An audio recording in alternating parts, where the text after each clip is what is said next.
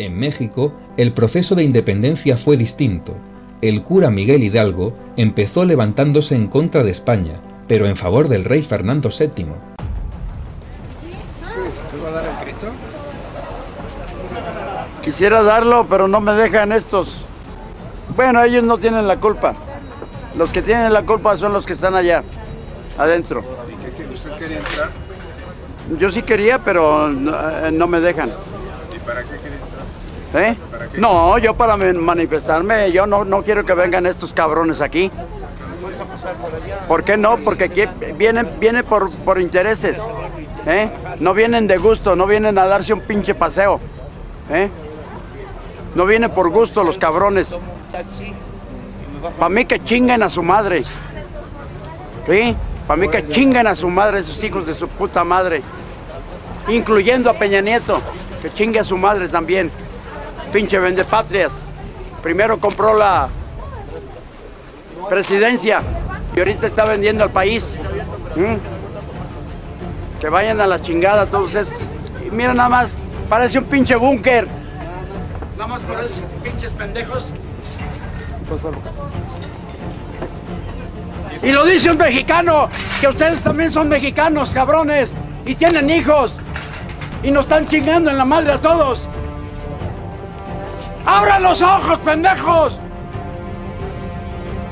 ¡La tuya, güey! ¡Venga y dígamelo aquí! ¡Venga y dígamelo aquí, pendejo!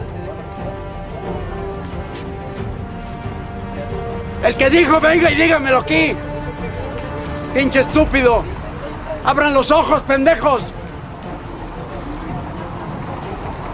¿Por qué estos pendejos tienen, se dan ese lujo? El pueblo, el pueblo tiene, es el que debe disfrutar esas plazas, no esos pendejos.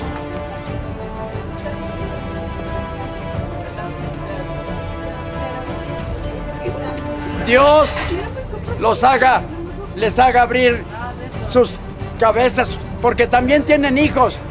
Y sus hijos se van a chingar, porque nos están quitando todo, todos los recursos naturales que son de, los mexicanos, nos lo están quitando esos pendejos que ahorita le están haciendo una, una ceremonia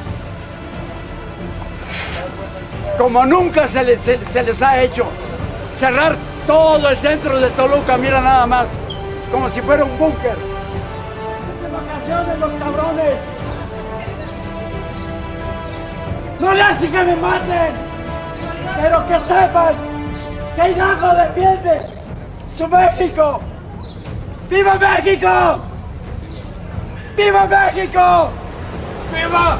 ¡Viva México! ¡Viva! Ya veo que están dormidos, cabrones, pendejos. ¡Están dormidos! Sí es cierto. Así los tiene ese pinche gobierno, con las pinches telenovelas, con el pinche fútbol.